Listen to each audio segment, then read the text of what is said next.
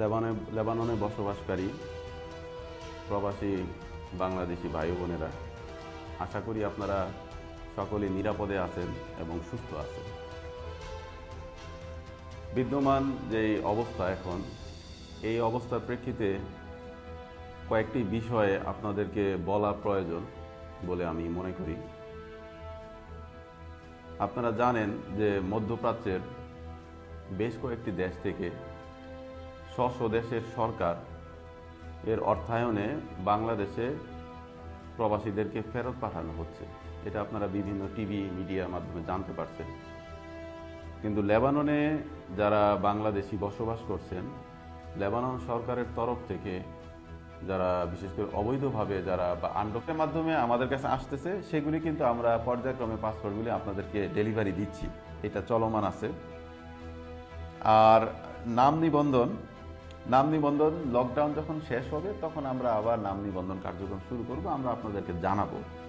আপনারা জানেন যে এখানে লেবাননে আমরা গত সেপ্টেম্বর মাস থেকে এক বছরের জরিমানা এবং বিমানের টিকিটের টাকা জমা দেওয়ার সাপেক্ষে কিছু ক্লিয়ারেন্স পেয়েছি। আসলে লেবানন সরকার বাংলা লেবাননে অবস্থানরত সকল প্রবাসীদের ইথিওপিয়া এবং কিছুদিন আগে শ্রীলঙ্কা এই সুবিধাটা পেয়েছে ফিলিপিনও পেয়েছে। সকলকে এই একটা এমনিস্টি দিচ্ছে কিন্তু কন্ডিশন হচ্ছে এক বছরের জরিমানা দিতে হবে। পুরুষদের ক্ষেত্রে চার চার লক্ষ লিরা মহিলাদের ক্ষেত্রে তিন লক্ষ লিরা এবং এই টাকাটা আমরা লেবাননের জেনারেল সিকিউরিটিতে জমা দিয়ে আসছি। এই যে এখানে একটা রিসিট আপনাদেরকে আমি দেখাই। এই রিসিটে দেখেন আপনারা আহ, এইভাবে আমরা জমা দিচ্ছি। তো যখন এই দেশের সরকার যদি সকলকে ফ্রি জরিমানাবিহীন যাওয়ার একটা সুযোগ দেয়, তখনই আসলে জরিমানা মৌকুফের সুযোগ থাকবে। এছাড়া আমাদের পক্ষে এখন এই অবস্থায় জরিমানা মৌকুফ করার কোনো সুযোগ আমাদের হাতে নেই। এটা সম্পূর্ণ লেবানন সরকারের উপর নির্ভর করতেছে। আমরা আশা করছি যখনই বিমান চালু হবে, তখন যখন বিমানের টিকিটের টাকা আপনারা যেটা দিয়েছেন, তিনশো ডলার যদি বিমানের টিকিট যখনই তিনশো ডলারের ভিতরে চলে আসবে, আমরা আপনাদেরকে ফ্লাইট করে দিব।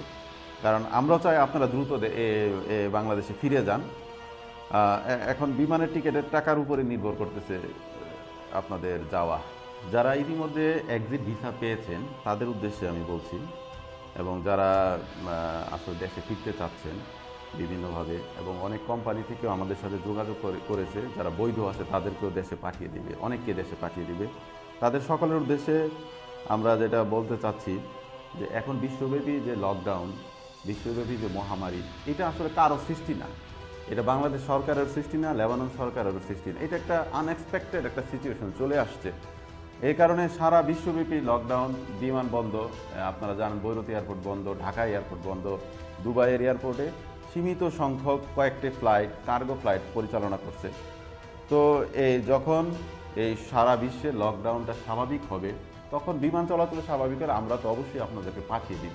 কিন্তু একটা বিষয় আপনাদেরকে অবশ্যই মনে রাখতে হবে যে, বিমান চলাচল শুরু হলে যে আপনাদের সকলকে পাঠানো যাবে তা নয়। কারণ আপনারা যেই টাকা বিমানের টিকিটের টাকা এখানে জমা দিয়েছেন, এই টাকার মধ্যে যখনই ফ্লাইট শুরু হয়ে যাবে ফ্লাইটের খরচ আসবে, তখনই আপনাদেরকে আমরা পাঠাতে পারব। আর আপনাদের একটা বিষয় মাথায় রাখতে হবে, বাংলাদেশে ফেরার পরে আপনাদেরকে হয়তো চোদ্দ দিনের কোয়ারেন্টাইনে রাখবে।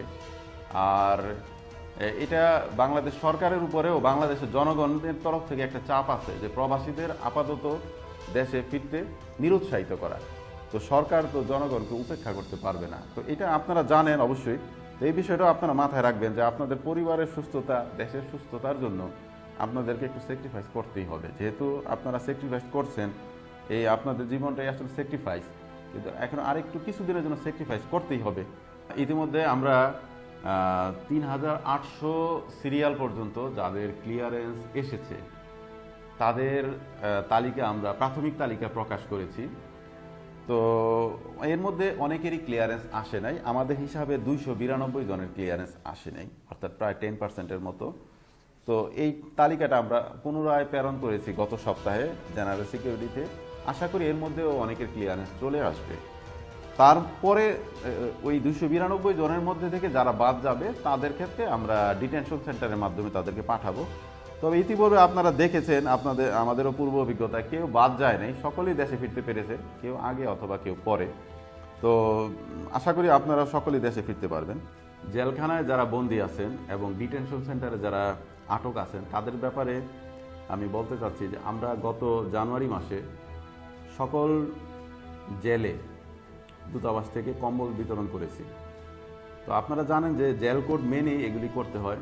ডিটেনশন সেন্টারে আমাদের যারা আটক আছেন, প্রায় দুই মাস ধরে আটক আছেন, তাদেরকে আমরা চেষ্টা করছি প্রতি সপ্তাহে কিছু কিছু বাংলাদেশি খাবার দেওয়ার জন্য। এটা তাদেরকে প্রতি সপ্তাহে পানি দেওয়া হচ্ছে, বাংলাদেশি কিছু কিছু খাবার তাদেরকে দেয়া হচ্ছে। টাকা দেওয়া হচ্ছে টেলিফোনে কার্ড কেনার জন্য এবং সবই আমাদের কিন্তু রিসিভ করা আছে।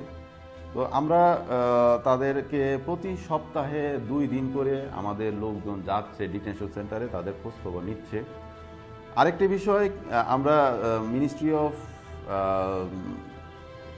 ল লেবানন তাদের সাথে আমরা যোগাযোগ করেছি যে বাংলাদেশি যারা বিভিন্ন জেলে আটক আছে তাদেরকে সাধারণ ক্ষমার জন্য। তো এটার উপর আমরা কাজ করছি। কিন্তু বিদ্যমান অবস্থায় এই দেশের কোর্টগুলি সীমিত পরিসরে কাজ করছে। গতকালকে মিলিটারি কোর্ট যেটা এখানে আছে, বৈরুতে, মিলিটারি কোর্টের পাঁচজন জাজ, তারাও আক্রান্ত হয়ে গেছে কোভিড নাইন্টিনে যার কারণে মিলিটারি কোর্ট এখন টোটালি বন্ধ। তো ওই কোর্টে আর শুনানি হচ্ছে না। এরকম বিভিন্ন পরিস্থিতি আমরা ফেস করছি। আমরা আসলে কাজ করছি সকল পরিস্থিতি, সবগুলি বিষয়ে কাজ করা হচ্ছে প্রবাসীদের বিষয়ে। এখন এই সিচুয়েশন স্বাভাবিক না হওয়া পর্যন্তই না হওয়া পর্যন্ত রেজাল্ট আসবে না। আপনারা জানেন যে বেশ কিছুদিন আগে আমরা প্রবাসী কল্যাণ মন্ত্রণালয় থেকে সতেরো লক্ষ টাকা বরাদ্দ পেয়েছি। যারা দুস্থ প্রবাসী আছে, তাদেরকে মানবিক সহায়তা প্রদানের জন্য। সতেরো লক্ষ টাকার সমপরিমাণ ডলারে আসছে উনিশ হাজার নয়শো একাত্তর ডলার আমরা পেয়েছি।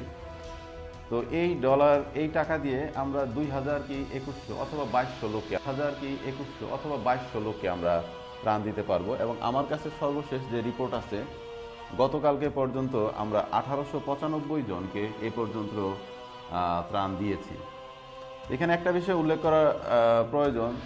আসলে ত্রাণ তো সবার জন্য না। ত্রাণ হচ্ছে যাদের অবস্থা খুবই খারাপ, যারা ত্রাহি ত্রাহি অবস্থা, যাদের, তাদেরকে ত্রাণ দেওয়া হয়। আর তিরিশ থেকে পঁয়ত্রিশ হাজার বাংলাদেশি আমরা যতটুকু জেনেছি, তারা এখানে অবৈধভাবে আছে। তো দুই থেকে আড়াই হাজার ত্রাণ যদি আমরা দেই, তো স্বাভাবিকভাবে সাতাশ থেকে আঠাশ হাজার ত্রাণ লোকজন ত্রাণ পাবে না। এটাই তো স্বাভাবিক। তো সেক্ষেত্রে আপনাদের আমরা চেষ্টা করছি যাদের প্রয়োজন, একান্তই প্রয়োজন, তাদেরকে ত্রাণটা দেওয়ার জন্য। আর আমরা এই মহামারীর মধ্যে, আপনারা হয়তো অনেকেই জানেন না, কিন্তু অনেকেই জানেন, যারা দেখেছেন, মহামারীর মধ্যে আমাদের লোকজন, আমাদের গাড়িতে এবং অনেকের ব্যক্তিগত, অনেক অফিসারের ব্যক্তিগত গাড়িতে পর্যন্ত আমরা প্রতিদিন ত্রাণ দিচ্ছি। আজকেও আমাদের লোকজন ত্রাণ কার্যক্রম চালিয়ে যা চালাবে। তো আমরা এই ত্রাণটা অত্যন্ত সুশৃঙ্খলভাবে এবং কোনো প্রকারের বিতর্কবিহীন আমরা ত্রাণটা বিতরণ করছি। তো যদি আবারও ত্রাণের কোনো সহায়তা পাওয়া যায়, আপনাদেরকে পরবর্তীতে আরও ত্রাণ দেওয়া হবে। তো ত্রাণের বিষয়ে আপনাদের যদি কোনো জিজ্ঞাসা থাকে, সেক্ষেত্রে আপনাদেরকে অনুরোধ করব, ফেসবুকের মাধ্যমে আমরা ত্রাণের বিষয়ে কোনো সমাধান দিতে পারব না। আপনাদের কোনো যদি জিজ্ঞাসা থাকে, আপনারা মন্ত্রণালয়ে যা যেতে পারেন। অথবা এখানে দূতাবাসে এসে তথ্য অধিকার আইনের মাধ্যমে আপনারা আবেদন করলে কোনো প্রকারের ত্রাণ সংক্রান্ত কোনো বিষয় জানতে চাইলে আমরা সমস্ত উত্তর দিয়ে দিব। তবে এই বিষয়ে কোনো ধোয়াশার কোনো অবকাশ নেই। আমরা যে পরিমাণ টাকা পেয়েছি, সেই পরিমাণ টাকার মাধ্যমে, মধ্যেই আমরা চেষ্টা করছি আপনাদেরকে ত্রাণটা দিয়ে দিতে। তো এক্ষেত্রে আমরা যতটুকু বরাদ্দ পেয়েছি, ততটুকুই আমরা ত্রাণ দিচ্ছি। এর থেকে বাড়তি ত্রাণ দেওয়া আসলে আমাদের পক্ষে সম্ভব নয়। মন্ত্রণালয় থেকে যদি বাড়তি বরাদ্দ আসে ইনশাল্লাহ আমরা আবার আপনাদেরকে ত্রাণ দিব। করোনা ভাইরাস মহামারীর বিষয়ে আমরা প্রথম থেকেই তৎপর ছিলাম। আপনারা দেখেছেন, ফেসবুকে আমরা আপনাদেরকে বিভিন্ন সময় সতর্ক করেছি। আর এই পর্যন্ত তিনজন বাংলাদেশি এই কোভিড নাইন্টিনে আক্রান্ত হয়েছিলেন। এখানকার যে মিনিস্ট্রি হেলথ মিনিস্ট্রি রিপোর্ট মতে এবং তিনজনের সাথে আমরা যোগাযোগ করেছি তিনজনই সুস্থ আছেন ইনশাল্লাহ আর কোনো, এর পরবর্তীতে আর কোনো বাংলাদেশি আক্রান্তের কোনো সংবাদ আমাদের কাছে নেই। ফেসবুকে অনেকেই ফেক আইডি ইউজ করে পর্দার আড়ালে থেকে বিভিন্ন রকমের কমেন্ট করছেন। আসলে আপনারা যে কমেন্ট করছেন, আমি আপনাদেরকে প্রশ্ন করি, সব কমেন্ট কি আপনারা বুঝে করছেন কিনা, জেনে করতেছেন কিনা? আপনারা নিজেদের বিবেককে প্রশ্ন করবেন যে বাংলাদেশ দূতাবাস এটা হচ্ছে বাংলাদেশের একটি অংশ। আপনি যেই দলের যা যেই মতের, যেই ধর্মেরই হন না কেন, আপনি কিন্তু বাংলাদেশের নাগরিক। বাংলাদেশের সুনাম রক্ষা করা আপনার দায়িত্ব।